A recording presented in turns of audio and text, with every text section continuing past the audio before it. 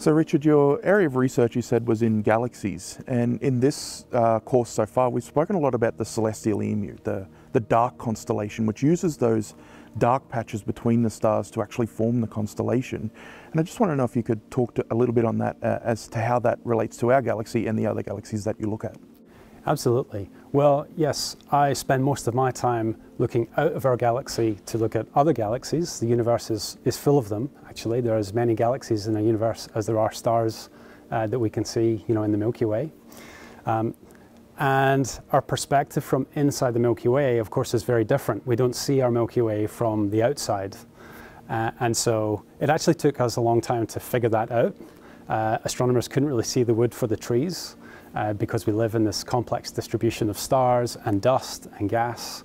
Um, and so it's actually quite hard to get that perspective.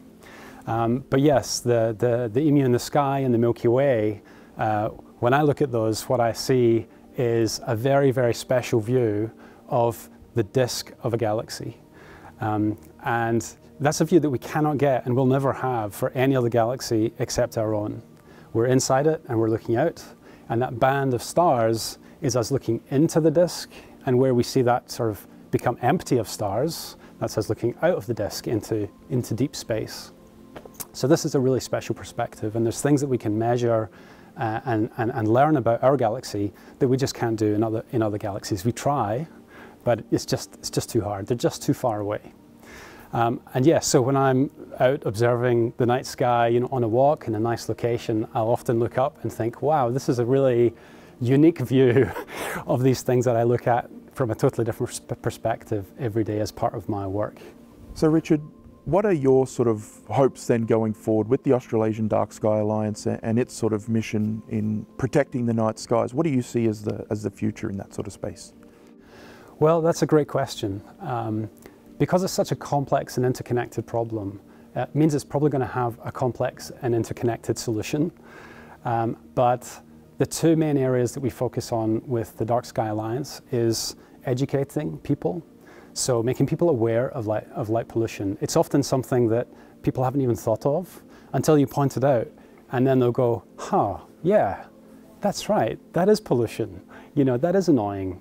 I do want to do something about this, but until you have that conversation or make them aware, um, they'll often just not think about it and just take, it for granted um, as just part of their night environment that, that is just unchangeable. So getting people aware of, of the issue um, and empowering them that they can actually do something about it, um, that's, that's one of our missions, raising awareness and educating.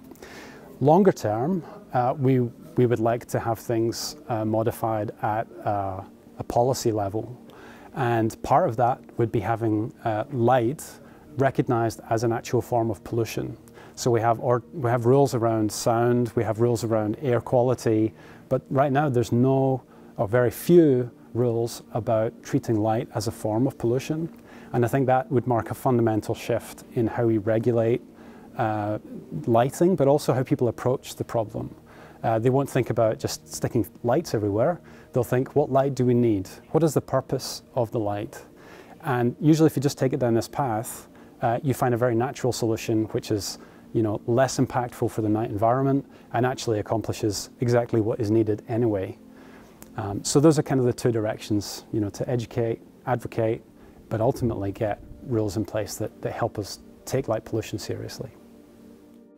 Yeah, and I guess with this conversation that we're having today with our viewers that are, that are viewing this, perhaps we've prompted with them this idea that light pollution is something that, that affects us all. So is there something that, that we can do in our everyday lives that can actually help with light pollution? Yes, yes there are. Um, so at an individual level, uh, we can look around our own home where we have control of how we're lighting and we can think about um, how we might be doing that.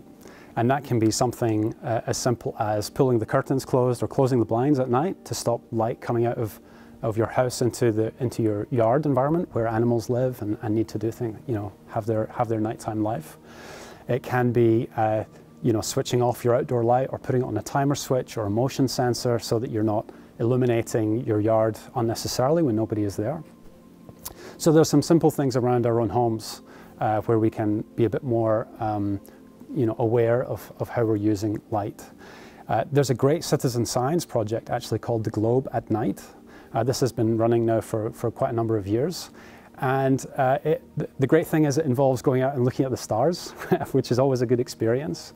Um, but then you actually make a measurement, uh, and that measurement gets collected in a database, a global database, uh, and that lets us build up a picture of, um, of the level of light pollution at your area. So you can look this up, globe at night. It's very simple. Basically, you're, you're trying to find the faintest star that your eye can measure. And so you're using your eye as a measurement device. And that's actually really powerful because you know most people uh, can do this. It's not complex. And uh, the human eye uh, has changed very little over a very long time span. So it actually is a very useful baseline for, for how we make this measurement.